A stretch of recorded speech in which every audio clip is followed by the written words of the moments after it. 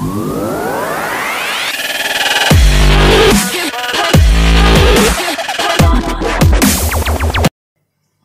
दोस्तों, आज हम लोग आपके लिए लेके आ गए हैं और एक नए प्रोडक्ट का अनबॉक्सिंग आज का हमारा जो नया प्रोडक्ट है, ये है ओरिको कंपनी की तरफ़ से आने वाला 2.5 inch hard disk drive enclosure ये प्रोडक्ट क्या करेगा? ये आपकी लैपटॉप की इंटरनल हार्ड डिस्क जो होती है, उसको आपको एक्सटर्नल हार्ड डिस्क के जैसे यूज़ करने देंगे।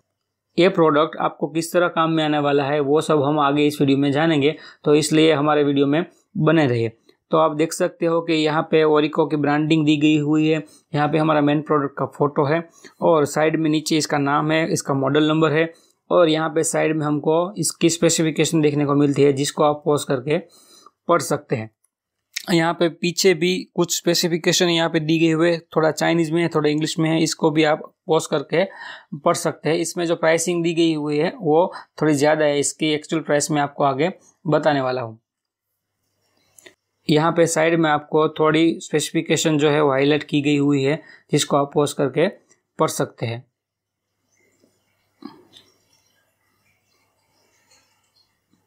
तो हम इसको आगे खोल के देख लेते हैं इसको कि इसमें अंदर हमको क्या क्या देखने को मिलता है।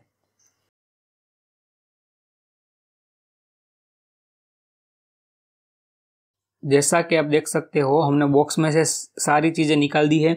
ये कुछ रीडिंग मटेरियल है, ये आपका कुछ काम का नहीं है, ये भी कुछ रीडिंग मटेरियल है, आप चाहे तो इसे पॉज करके पढ़ सकते हैं। ये कुछ रबर की पैडिंग है, ये हमारा यूएसबी थ्री केबल है।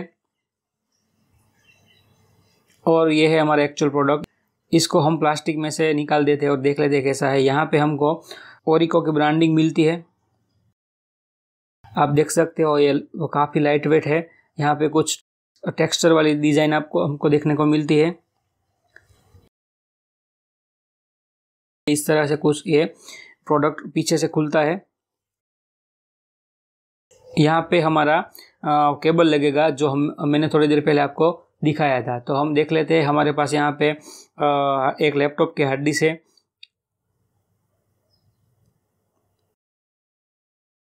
तो इस पोर्ट में हमारी हार्ड डिस्क का ये वाला जो पोर्ट है, वो फिट हो जाएगा।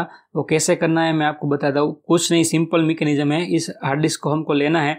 ऐसे कुछ स्लाइड कर देना है। स्लाइड कर देने के बाद यहाँ से हल्का पीछे से हमको दबाना है और ये आगे खिसक के अपने दोनों पोर्ट अपने आप कनेक्ट हो जाएँगे। और इस कवर को लेके हमको ऊपर से बंद कर देना है। जैसा कि आप देख सकते हो ये कवर हमारा फिट हो गया है और ये हमारी हार्ड डिस्क यूज़ करने के लिए तैयार है। आगे हम देख लेते हैं इसको कंप्यूटर में कैसे कनेक्ट करें। जैसा कि आप देख सकते हो हमने यहाँ पे केबल लगा दिया है हार्ड डिस्क में और ये वाला हमारा जो यू थ्री वाला जो पोर्ट है उसको हम अपने लैपटॉप में डाल देंगे। यहाँ पे हम कनेक्ट कर लेते हैं। कर लिया इस हार्ड डिस्क को। यहाँ पे हमको लाइट दिखाई देंगी। आ, जैसा कि आप देख सकते हो हमने इसको कनेक्ट कर लिया है। यहाँ पे राइट साइड में नोटिफिकेशन भी आ गया। इसको हम खोल के देख लेते हैं अपने माई कंप्यूटर में जाके कि हार्ड डिस्क लगी कि नहीं लगी। आ, जैसे मैंने अपना माई कंप्यूटर खोला तो आप देख सकते हो हमारी जो पुरानी हार्ड डिस्क में जितने भी ड्राइव थी वो यहाँ पे आ गई है। ये हमारा प्रोडक्ट सक्सेसफुली काम कर रहा है। एक बार और हम इसको चेक कर लेते हैं हार्ड डिस्क को यहाँ से निकाल के कि ये प्रोडक्ट हमारा काम करता है कि नहीं। तो जैसा कि आप देख सकते हो, हमने दोबारा कनेक्ट कर लिया है। दोबारा कनेक्ट करने के बाद ऑटोमेटिक यहाँ पे सभी ड्राइव आ जाएगी। और ये सभी ड्राइव ऑटोमेटिक आ गई है।